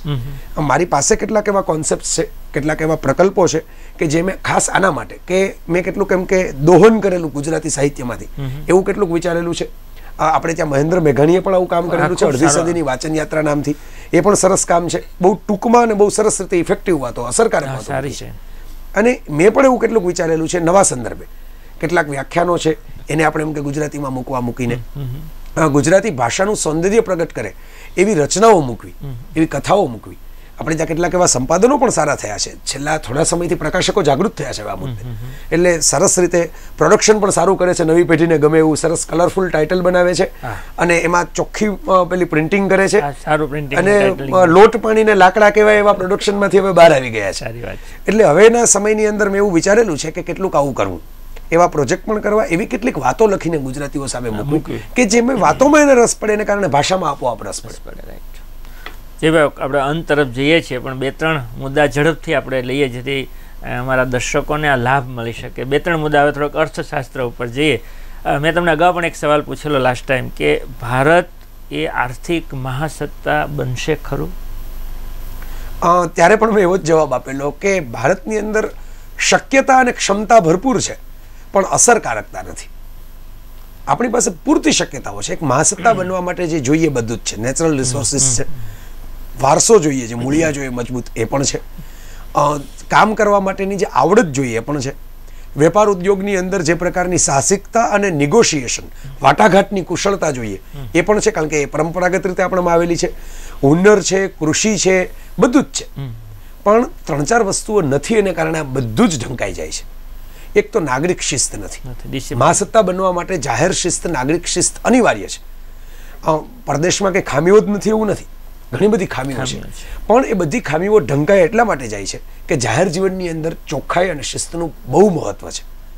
નાની નાની બાબતોમાં ભ્રષ્ટાચાર નથી. મોટા પ્રોજેક્ટ્સમાં ભ્રષ્ટાચાર છે ત્યાં પણ. પણ દૂધ કેવું મળે કે સફરજન કેવું મળે એવી બાબતમાં ભ્રષ્ટાચાર નથી. ત્યાં સ્ટાન્ડર્ડાઇઝેશન છે. ચોક્કસ ગુણવત્તાનો આગ્રહ છે. લિફ્ટમાં ઊભા રહેવા માટે કોઈ ધક્કામુક્કી કરતું નથી.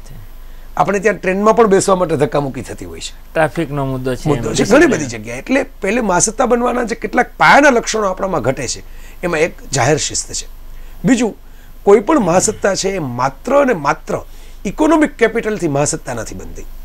હ્યુમન કેપિટલ બ્રેઇન કેપિટલથી મહાસત્તા બને છે. અત્યારે ઘણી બધી મંદી છે પશ્ચિમના દેશોમાં. છતાં હું એમ કહું છું કે એ મંદી છે એ ટેમ્પરરી છે કામ ચલાવ છે કાયમી નથી. કારણ કે ત્યાં એક સિસ્ટમ ડેવલપ થયેલી છે નોલેજ ડેવલપમેન્ટની બ્રેઇન કેપિટલની. ત્યાં નવા નવા શોધખોળો આવે છે. ત્યાંથી જ કોઈક નવો એક વિચાર આવશે કે જે એવી શોધ આવશે જે આખી દુનિયાને ખરીદવી પડશે અને આપોઆપ મંદિર દૂર થઈ જશે. મંદિર હવે આ મુદ્દો આપણે ચૂકી ગયા છીએ. આપણે વ્યક્તિને મેં હમણાં શરૂઆતમાં વાત કરી, એમ પરલોકનો વિકાસ એટલો બધો કર્યો કે આ લોકમાં વ્યક્તિએ શું કરવાનું છે? એની ચર્ચાઓ જ ચૂકી ગયા છે. તો ભારતને મહાસત્તા, તમે કીધું મને બહુ સરસ તમારી વાક્ય તે દિવસે પણ ગમ્યું હતું કે શક્યતાઓ બહુ પણ જે દેશના લોકોને ટ્રાફિકના નિયમો પોતાના માટે પાલન કરવા છે, એ પણ ન કરતા હોય, તો દેશનો કયા નિયમનું પાલન કરવા વિચારી શકે? ખૂબ આ અસરકારક વાત છે. દર્શક મિત્રો, છેલ્લા દસ વર્ષથી આપણે સાંભળીએ છીએ કે ભારત મહાસત્તા બનશે મહાસત્તા બનશે. અને સાહેબે કીધું બનવાની શક્યતા ભરપૂર છે. પણ આપણામાં એ ડિસિપ્લિન નથી એ શિસ્ત નથી એ સમજણ નથી એ દેશ ભાવના નથી.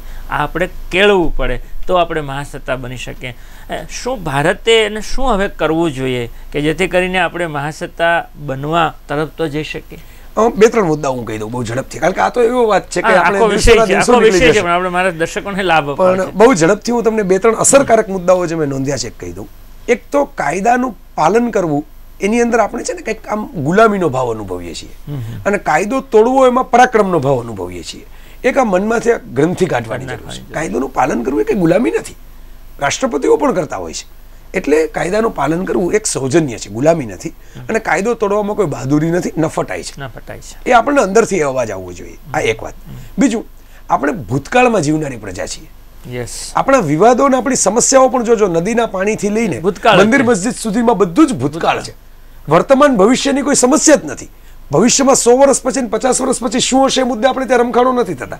પણ સો વર્ષ પહેલા શું હતું એ મુદ્દે થાય છે. બહુ મોટી વાત છે. એટલે આપણે ઇતિહાસ બદલાવાની એટલી બધી કોશિશ કરીએ છીએ કે આપણે ભવિષ્ય બદલાવાનું ચૂકી જઈએ છીએ. નહીં ભવિષ્ય બગાડીએ છીએ. હા એ પણ ભવિષ્ય બદલાઈ જાય છે. ભૂતકાળ બદલવાની ચિંતામાં આપણું ભવિષ્ય બદલાઈ જાય છે. ભારત કદાચ મહાસત્તા નહીં બને ને તો કદાચ એ આપણા ભૂતકાળના ઝઘડાને કારણે એને જ કારણ કે આપણે સતત ભૂતકાળમાં જ રચ્યા પચ્યા રહીએ છીએ અને વારસામાં પણ આપણે એવું જ કહીએ છીએ કે ભવ્ય વારસો હું ઘણીવાર કહેતો હોઉં છું રમૂજમાં કે મારા દાદા મહાન હોવાને કારણે હું મહાન નથી થઈ જતો. મારે મારી માનતા સિદ્ધ કરવી પડે. રાઈટ એટલે આપણી પાસે બહુ જ ભવ્ય હતું. આ હતું એની અંદર બહુ મહત્વનો શબ્દ છે. આ હોવું જોઈએ. રાઈટ એમાં હતું ના ચાલે. હતું ના વખાણ કરીને આપણે જે નથી છુપાવી દઈએ છીએ. એટલે આ વાત ભૂતકાળવાળી ખૂબ મહત્વની છે. આપણે ભવિષ્ય માટે કામ કરનારી નવી પેઢીને ડેવલપ કરીએ. તો એવું થાય કે એને તમે કહીએ કે તમે ભૂતકાળમાંથી મુક્ત થાવ અને નવું વિચારતા હતા. હવે જે થઈ ગયું એ થઈ ગયું બદલાવાનું નથી ઘડિયાળના કાંટા પાછા નથી ફરવાના. તમે આ દેશને જ સુખી થવું છે ને તમારા સંતાનોને સુખી કરવા હોય તો તમે પહેલાં દેશના ઘડતર માટે તમે નવા વિચાર કરો. બીજું વૈજ્ઞાનિક અભિગમ જીવનમાં લઈ આવો. વૈજ્ઞાનિક અભિગમ પ્રયોગશાળામાં ન ચાલે. એ જીવનમાં ઉતરવો જોઈએ. વૈજ્ઞાનિક અભિગમ એટલે નાસ્તિકતા નહીં. વૈજ્ઞાનિક અભિગમ એટલે કોઈ પણ બાબતને પરખ કર્યા વિના સ્વીકારવાની નહીં. તમારે સ્વીકાર કરવો હોય તો પણ પરખ કરીને સ્વીકારવો. શ્રદ્ધા રાખવી હોય ત્યાં રાખો. વિજ્ઞાનીઓ પણ રાખો. આઈન્સ્ટાઈન પણ કહે છે કે આ જગતનો કોઈ અદ્રશ્ય વાંસળી વાળો છે ખરું. એ વાંસળી વગાડે છે ને આ જગત એના તાલે નાચે છે. પણ આનાથી વધારે આઈન્સ્ટાઈન પોતાના કામમાં એ વાંસળી વાળાને વચ્ચે લઈ આવતા નથી ને એને બહુ ખલેલ પહોંચાડતા નથી. આપણે એ વાત પણ અપનાવવાની જરૂર છે. અને સૌથી મહત્વની વાત એક પ્રજા તરીકે. આપણે થોડોક રસ કળાઓમાં આપણે વાત હમણાં જ થઈ. સાહિત્યમાં એટલે બ્રેઇન કેપિટલ ડેવલપ કરવામાં. વિજ્ઞાનમાં આ બધાના મૌલિક આવિષ્કારમાં મૂકવાની જરૂર છે. એટલે આપણે શિક્ષણ પદ્ધતિમાં અને શિક્ષણ પદ્ધતિમાં ન થાય ત્યાં સુધી આપણા જીવન પદ્ધતિમાં આપણે એવા સુધારા કરીએ કે જેને કારણે માણસ થોડુંક મૌલિક વિચારતો થાય. થોડીક એને મોકળાશ મળે. માત્ર ને માત્ર ચોક્કસ ચોકઠામાં બંધાઈ રહેવાને બદલે એ થોડુંક સાહસ કરતો થોડીક નવી વાતોને એક્સપેરિમેન્ટ કરતો પ્રયોગ કરતો થાય. તો મહાસત્તા બનવાનું બહુ ઝડપથી આપણે સપનું સાકાર કરી શકીએ બહુ બહુ ઉમદા વિચાર રજૂ કર્યા. દર્શક મિત્રો આજે આપણી સાથે રિયલ નેટવર્કમાં વાત કરી રહ્યા છે. સરસ ખૂબ સુંદર વિચારો પણ જેમના છે અને લેખોમાં તમે સાંભળ્યા હશે એવા જય વસાવડા સાહેબ. આજે આ છેલ્લી વાત આપણે કરીને કાર્યક્રમનું સમાપન કરવું છે. આ અમારું નર્મદનું સુરત છે. આ સુરત તમને કેવું લાગે છે? મને તો સુરત બહુ ખૂબસૂરત લાગે છે. એનું કારણ છે કે એક તો બે કારણ. એક મને ખાવા પીવાનો શોખ ખરો અને સુરત પંકાયેલું છે આ બાબત માટે ખાણીપીણી માટે. અને જ્યારે જ્યારે આવું ત્યારે મને એની અંદર કંઈક આનંદ મળે છે. એટલે એક કારણ તો સુરત વહાલું લાગવાનું એ છે. બીજું સુરતીઓનો મિજાજ મને ગમે છે. એક તો એક મેલ્ટિંગ પોટ જેવી ઘટના બની છે સુરતમાં. સુરતનું એક ઓરિજિનલ ટ્રેડિશનલ આપણે નર્મદની વાત કરીએ એવું એક સંસ્કૃતિ ધનસુખલાલ મહેતાની નર્મદની સંસ્કૃતિ. અને એની સાથે જોડાયેલી એક કાઠિયાવાડની પેલી બાવળાના બળે દરિયા પાર જઈને એમ કે પવનને સામા છાતીએ ઝીલવાની સંસ્કૃતિ. એનું એક સરસ કોમ્બિનેશન થઈ ગયું છે સુરત. એટલે એ રીતે એક એક અજોડ કહી શકાય એવી નગરી બનતી જાય છે. કે જેમાં બંને બાબતો સાથે જોડાયેલી છે. સુરતીઓ વાતોને હસી કાઢે છે લિજ્જતથી મિજાજથી. માણે છે. અને એમ કહે છે કે કમવોટ મેં પૂર આવે તો પૂર પણ આવે. અને કોઈ ઘટના બને દુર્ઘટના બને તો અમે એમ કે સામે ફાઇટ આપશું અમે લડી લેશું. પણ એમ કે અમે અમારો સ્પિરિટ નહીં ગુમાવીએ. અમારી લિજ્જત અમારો જુસ્સો નહીં ગુમાવીએ. આ વાત મને સુરતમાં ખૂબ ગમે છે. અને જે વાત તમે કરી કે મજા આવી તો સુરતમાં આવવાની મજા આવે. રાવ સાહેબના આવ્યા પછી તો બહુ મજા આવે સુરતની અંદર આવવાની કારણ કે એમણે સુરતને ખરેખર ખૂબ સુરત બનાવી દીધું છે. અને એ સિવાય સુરતમાં મારા તો ઘણા બધા વાચકો છે મિત્રો છે. સરસ એવા આપણી સાથે જ કામ કરનારા એવા બધા મિત્રો છે કે જેમની સાથે મળીને કામ કરવામાં મજા આવે. હું સુરત એક કાર્યક્રમમાં આવ્યો અને સૌજીભાઈ વેકરિયા જેવી વ્યક્તિનો મન પરિચય થયો તો મને ખબર પડી કે અહીં તો પડદા પાછળ એવા કામ કરનારા માણસો છે કે દેશનો બેઠો કરવાની ક્ષમતા ધરાવી શકે. બહુ મોટી વાત. આપની સાથે સંવાદ કર્યો. કોઈ પણ પ્રકારનો સંવાદ છે એ ટુ વે પ્રોસેસ એટલે બે દ્વિમાર્ગી પ્રક્રિયા છે. હવે જ્યાં સુધી આપના જેવી વ્યક્તિ આટલી રસ લઈને વાતો કરે નહીં ત્યાં સુધી મને સામી વાત માનવાની મજા આવે તો એમ કે સુરતની અંદર કાંજીભાઈ જેવું વ્યક્તિત્વ પણ છે. તો એની સાથે બેસવાનું મને મજા આવે. રાઈટ એટલે આ બધા કારણોનું જે સંમેલન થાય છે એને કારણે કારણે. સુરત મને આવું ગમે. હું રહું છું બહુ દૂર સુરતથી. પણ મને એમ લાગે કે આમાં મજા આવે. આવવાની બેસવાની મજા આવે. અને ત્યાં વાતો કરનારો અમલ કરનારો વિચાર આવ્યો કે કોઈ સારા લેખક બને કે કોઈ કોઈ સારું વ્યક્તિત્વ બને ને. એટલે ગામડામાંથી મુંબઈ જેવા શહેરમાં કે અમદાવાદ જેવા શહેરમાં મોટાભાગના લેખકો જતા રહ્યા છે. તમે હજુ ગોંડલ કેમ નથી છોડ્યું? એક તો મને ગોંડલ ગમે છે. બીજું મારા માતા પિતા વર્ષોથી ગોંડલ સાથે સંકળાયેલા વ્યાવસાયિક રીતે. વતન તો જુનાગઢ. પણ એ લોકો સંકળાયેલા હતા. એટલે ત્યાં જ રહ્યા એમને અનુકૂળ આવતું હતું. અત્યારની પરિસ્થિતિમાં હું ગોંડલમાંથી રાજકોટ કદાચ જાઉં. રાજકોટથી બહુ આગળ જવાનો મને વિચાર આવતો નથી કારણ કે પછી સમય બહુ બગડે. જેટલું શહેર મોટું એટલું સમય તમારો વધારાનો ખાઈ જાય. એટલે તમારે એક ફિલ્મ જોવા જવી હોય તો ફિલ્મ જેટલો સમય તો ટ્રાફિકમાં જતો રહે. એટલે રાજકોટથી આગળ જવાનો વિચાર નથી આવતો. ગોંડલ મને ભગવતસિંહજીની ટાઉન પ્લાનિંગની રીતે બચપણમાં ખૂબ ગમતું. હું આમ બે બાજુ ગુલમોરની પાંદડીઓ મોટી મોટી સિમેન્ટની ફૂટપાથો ઉપર પથરાયેલી હોય એની ઉપર ચાલતા ચાલતા પુસ્તકાલયમાં પુસ્તકો વાંચવા જતો એ મને હજી યાદ છે. હવે ધીરે ધીરે વર્તમાન રાજકારણનો ચેપ ત્યાં પણ લાગ્યો છે. અને એને કારણે એ જે ભગવતસિંહજીનું ગોંડલ હતું એવું નમૂનેદાર રહ્યું નથી.